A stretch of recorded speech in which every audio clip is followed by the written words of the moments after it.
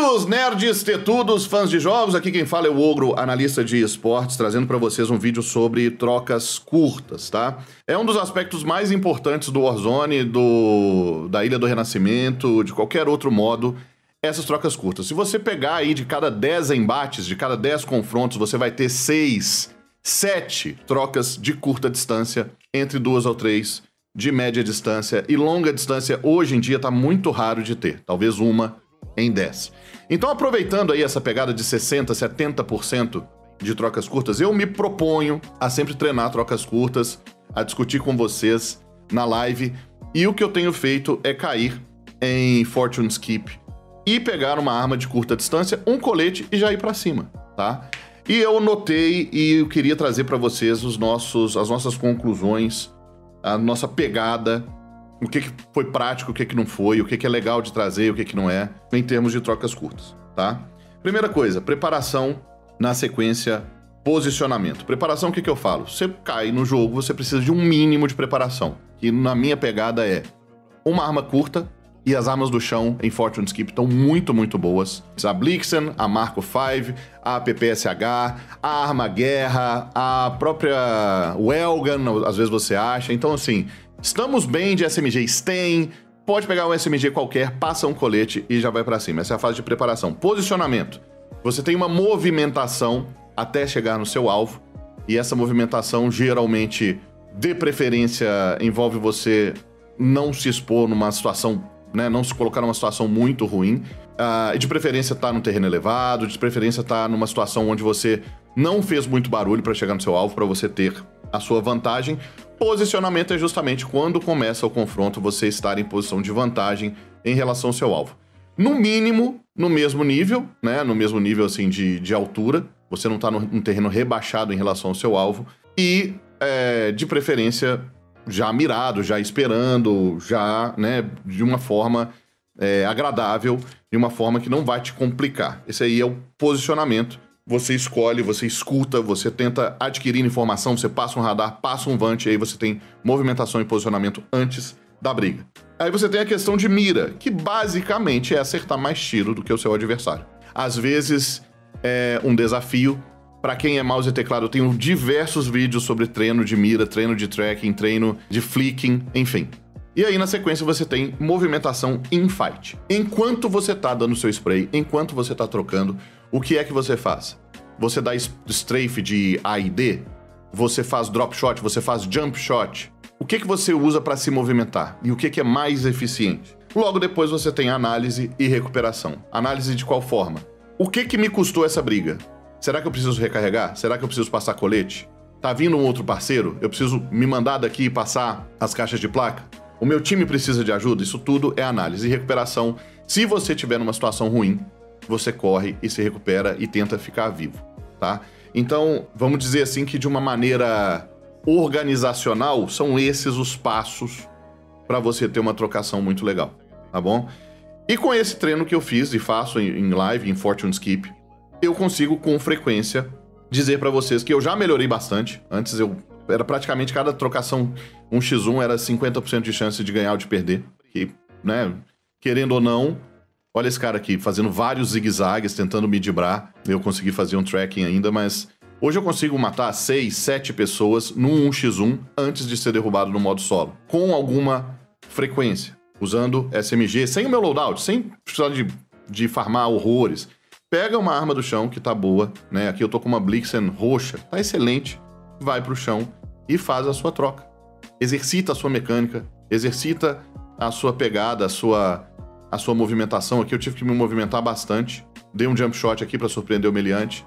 Logo na sequência fui surpreendido, você corre, passa a placa, tá? E aí tem algumas dicas, tanto burpee quanto a questão do aim assist. Uma coisa que eu notei muito trocando de perto e fazendo esses treinos de trocas curtas é que o drop shot ele é muito bom contra o controle. A maioria da galera dos meus lobbies é do controlão. Vou falar aí 70, 80% jogando de controle. Eu dou uma passada ali quando o lobby é feito e dá para ver todo mundo de controlinho. E aí o M assist, ele ajuda.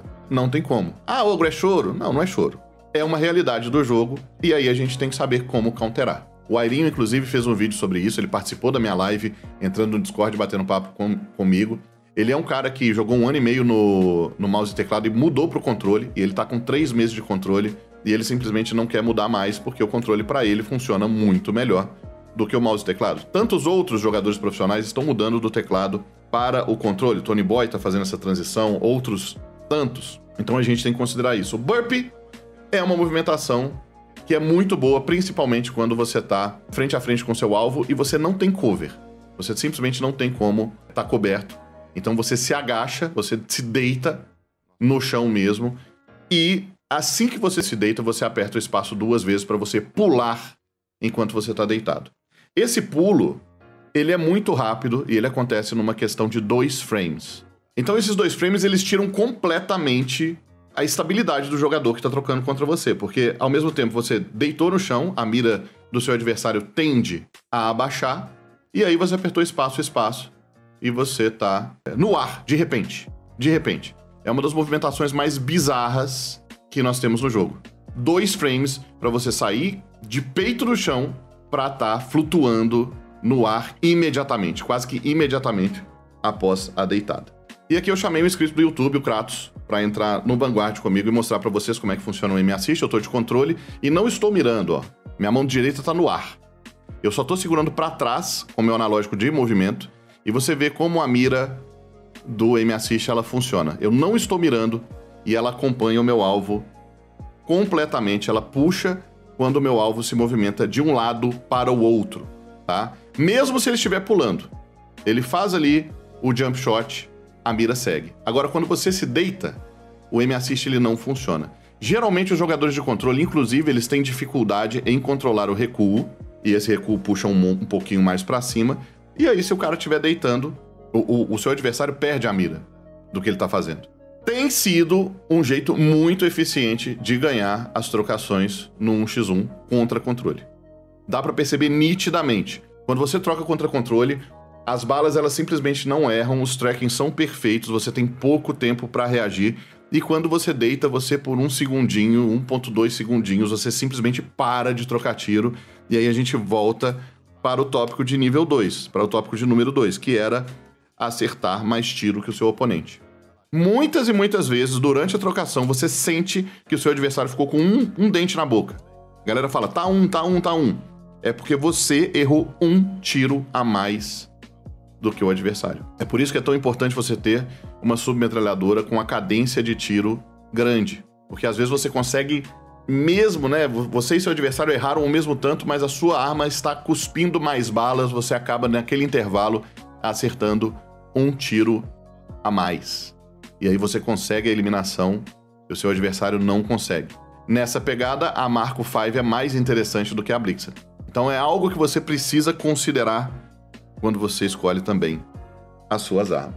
Eu trouxe esse vídeo aqui para sumarizar, para resumir um pouco da minha experiência jogando bastante um X1 em Fortune Skip com respawn, caindo em vinhedo e batendo repetidas vezes contra jogadores de mouse e teclado, de controle, e trazendo para vocês esse tipo de treino e o que que funciona e o que que não funciona para mim até o momento. Me falaram também que o Savitz fez um vídeo falando que o jump shot é algo que countera o aim assist. A gente já mostrou aqui também na movimentação do Kratos, independente dele pular ou não, o assist tá, tá mais do que cravado, e isso não é verdade. Né? A única coisa que confunde o aim assist e faz o aim assist parar de seguir é o drop shot, quando o adversário deita na sua frente. Então continuem fazendo os strafes, continuem fazendo os jump shots, mas tenham em mente que, na maioria das situações contra jogadores de controle, o drop shot vai ser bastante eficiente em comparação com outras técnicas de movimentação dentro da briga. Recapitulando: preparação, movimentação antes da fight, posicionamento, engage, né, que é o confronto. Aí você tem mira e as consequências da mira, né, de puxar a mira antes, de estar ciente de onde o seu alvo vem, utilizar também o som dos passos para se posicionar de acordo, movimentação em fight, análise e recuperação. Espero que vocês tenham se divertido e curtido. Deixe o seu like, compartilhe se inscreva no canal. Lives todos os dias em twitch.tv barra e também aqui no YouTube. Todas as lives de código eu estou trazendo para cá também. mais ou menos às quatro da tarde até a noite, até meia-noite, tá bom? Um beijo do Ogro, nosso conteúdo é diferente.